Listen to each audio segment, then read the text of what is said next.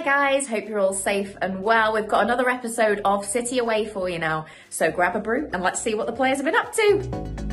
So we all know it's super important to stay fit and healthy while the football's off, and uh, looks like Gabriel Jesus is doing just that with his home routine.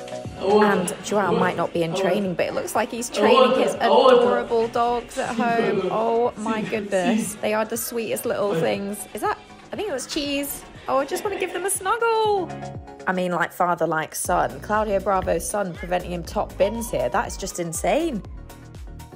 I mean, is there anything Caroline Weir can't do? so bad. Here. To be honest, that's how I made my cup of tea earlier. Do you like my friend?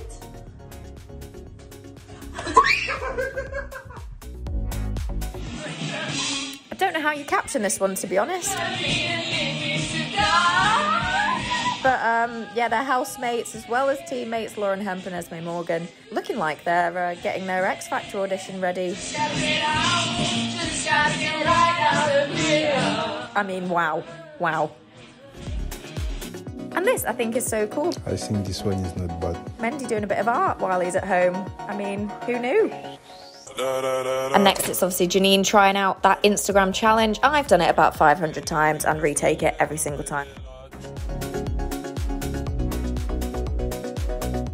Our General Otamendi uh, obviously feeling like while there's no football, he'll try out a bit of a new look. So the beard is gone. Thank goodness the weather's getting a bit warmer. Might be a bit cold otherwise.